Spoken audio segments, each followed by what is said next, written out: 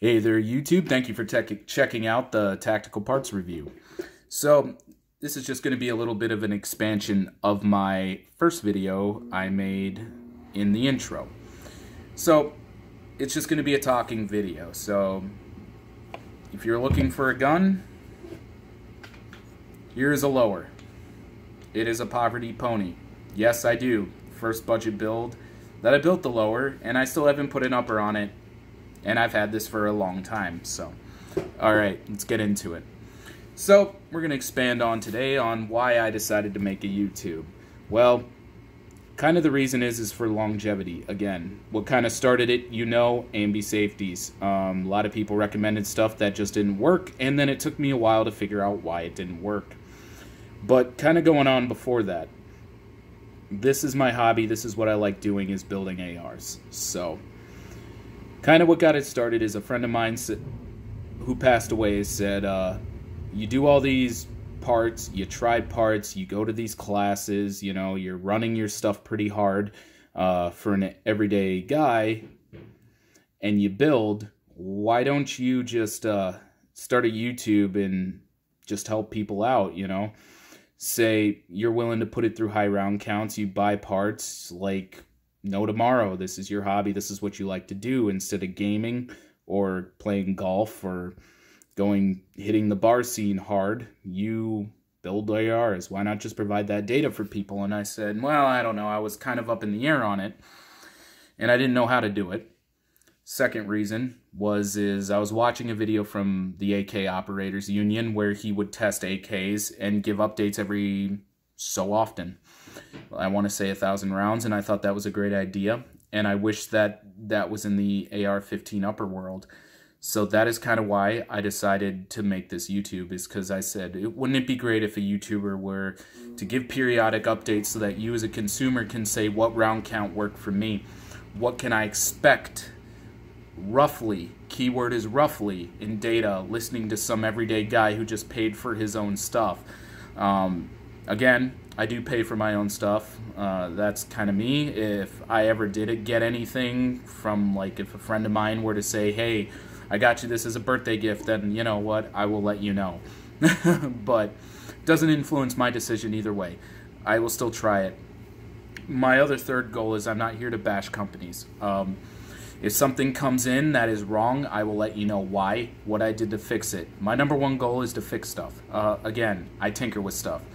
But for those of you who don't like messing with stuff and building ARs, etc., you just buy the complete upper, call it a day. You know, I want to at least provide that data to you so then that way you can decide if the problem that I found, if I find one, is worth it for you. You know, because some people like messing with stuff, some people don't.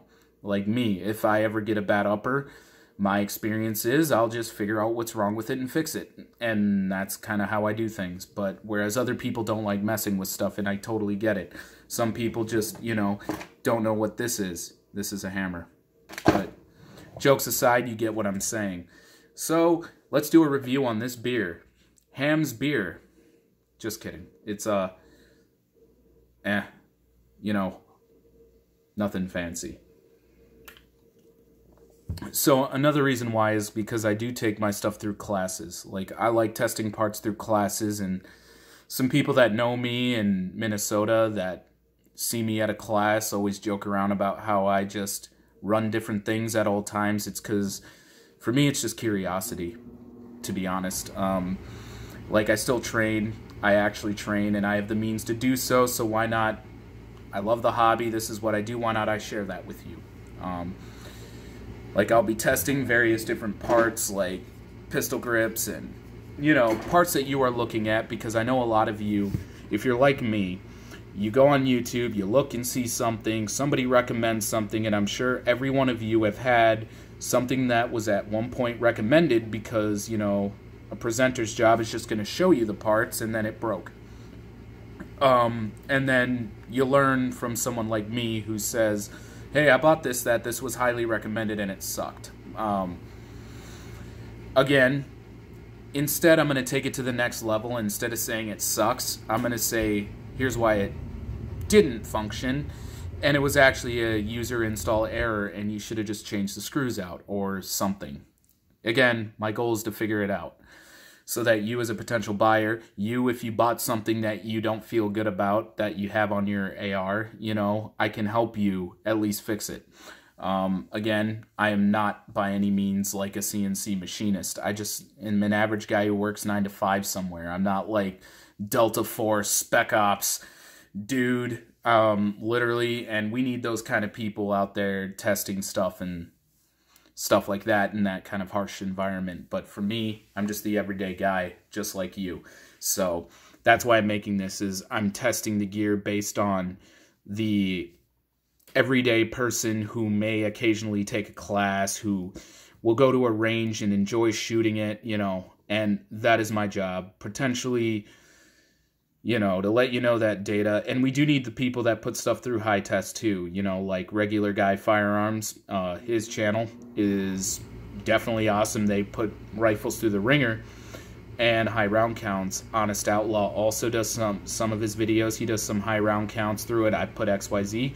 And, you know, he gives good honest feedback. So just as an example, and then you got Garand Thumb who puts definitely puts stuff through the ringer, but you know, they're like those guys they get flooded with tons of people wanting to work with them etc etc they don't have time to do the updates that i want to do. Uh, regular guy firearms he still does but you know it does take a while for him because he's got like you know a business to run too you know? He trains people for a living.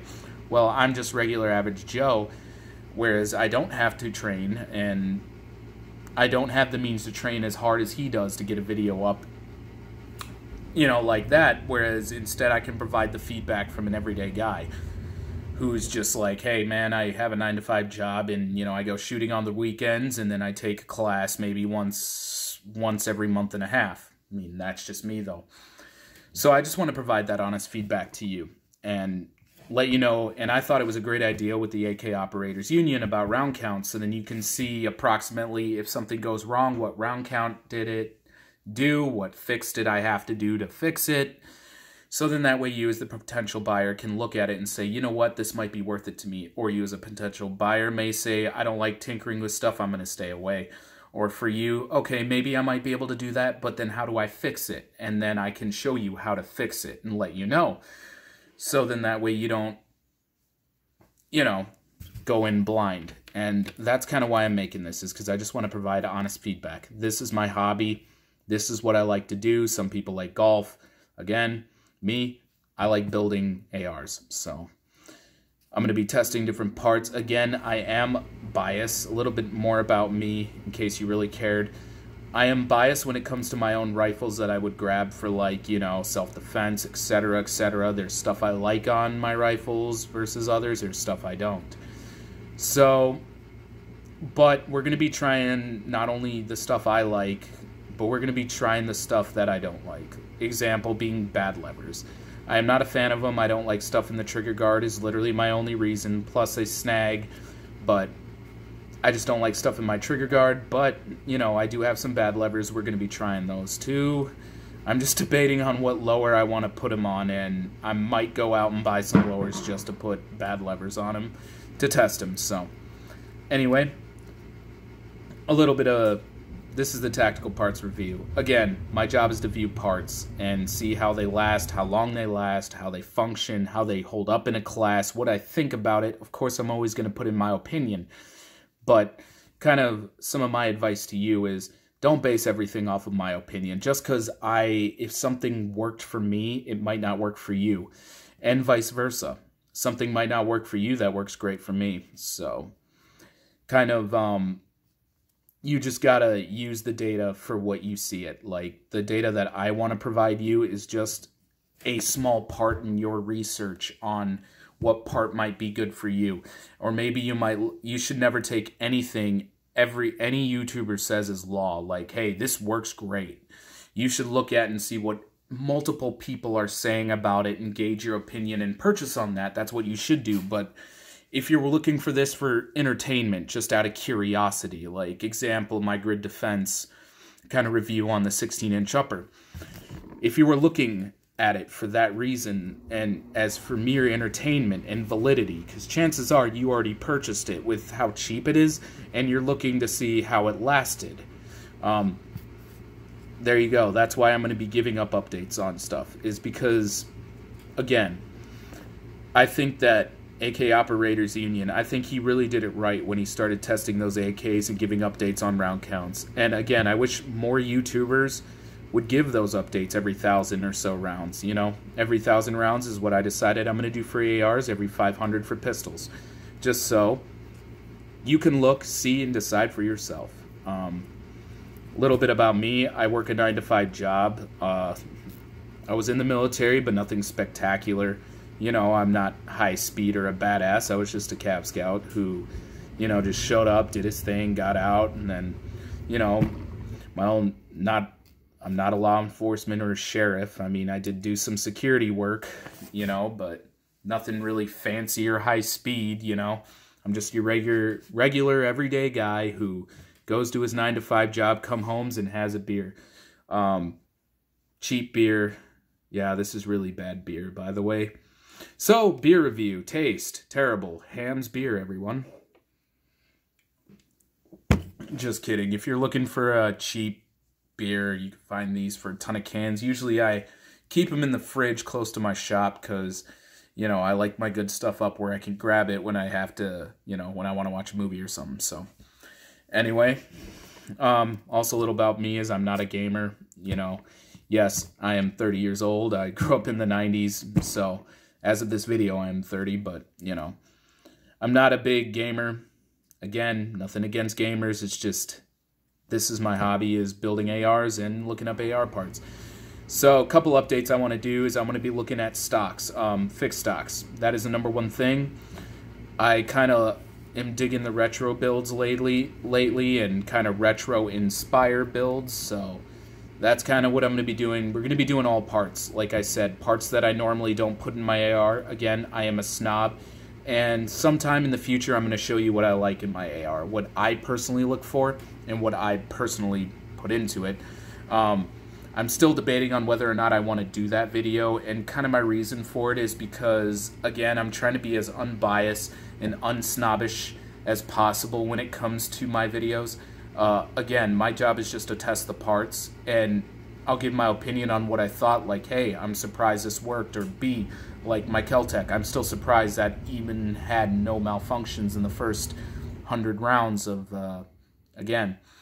But since you know you shouldn't take what a YouTuber says as law, you should use the data that a YouTuber gives to kind of gauge your purchases.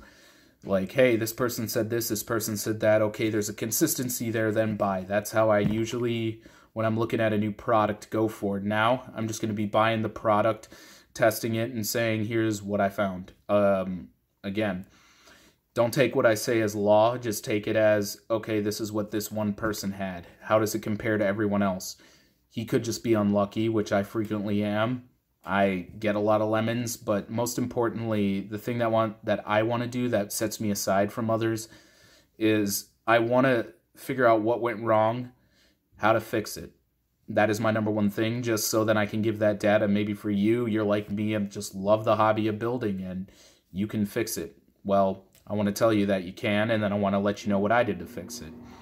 Or maybe you are one of those types who are like hey you know i don't like messing with stuff i mean i want to get this part in my rifle but you know I don't want to mess with it. I don't want to tweak it. And if it breaks, I'm going to be pissed. And, you know, then you as a consumer can decide for yourself. That's all I'm making this channel for, is that you as a consumer can say, hey, it's worth it to me. And not talking about a group consensus. I'm talking about you as an individual can say, I want it or I don't want it for this reason. So that's why I'm still debating on whether or not I'm going to show you what I like in my rifle because we all have different uses. Again, I'm in Minnesota, land of the ice and snow. And another reason is is I'm from Minnesota in the land of the ice and snow. Why I wanted to create this is to provide data on optics and batteries and gear that may fail in a polar vortex. We haven't had one yet.